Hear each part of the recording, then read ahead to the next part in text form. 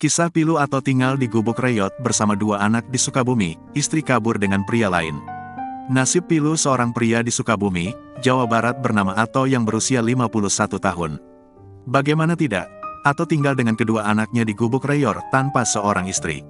Lebih mirisnya lagi, sang istri kabur dengan pria lain. Ato merupakan warga kampung Mekarjaya, Desa Cingkung, Kecamatan Ciracap, Sukabumi, Jawa Barat.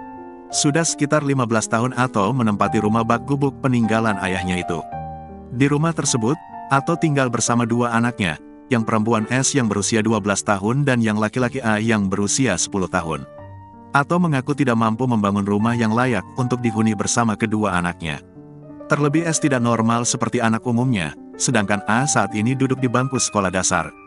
Ataupun terlihat pasrah dengan keadaan, dia tak tahu nasibnya ke depan, terlebih untuk masa depan kedua anaknya. Ia mengaku saat musim hujan harus tidur berdempetan bersama dua anaknya itu karena atap rumah bocor. Terlebih saat terjadi angin kencang, ia merasakan was-was rumahnya akan ambruk. Atau menjelaskan, ia baru sekali mendapatkan bantuan langsung tunai, BLT, berupa beras dan uang.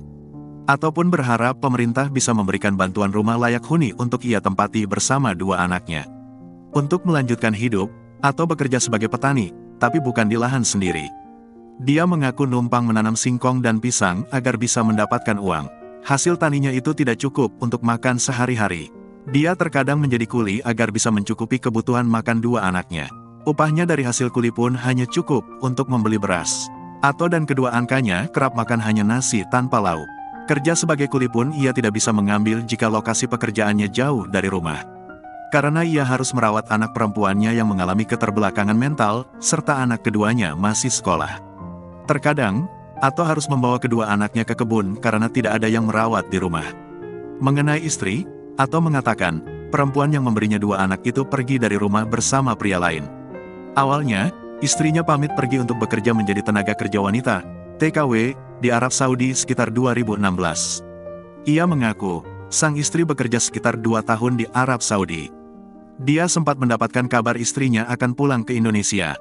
Namun, ternyata istrinya pulang ke laki-laki lain, meninggalkan Ato bersama dua anaknya. Ato tidak menyebutkan identitas istrinya yang tega pergi dengan lelaki lain. Download Tribun X sekarang, menghadirkan lokal menjadi Indonesia.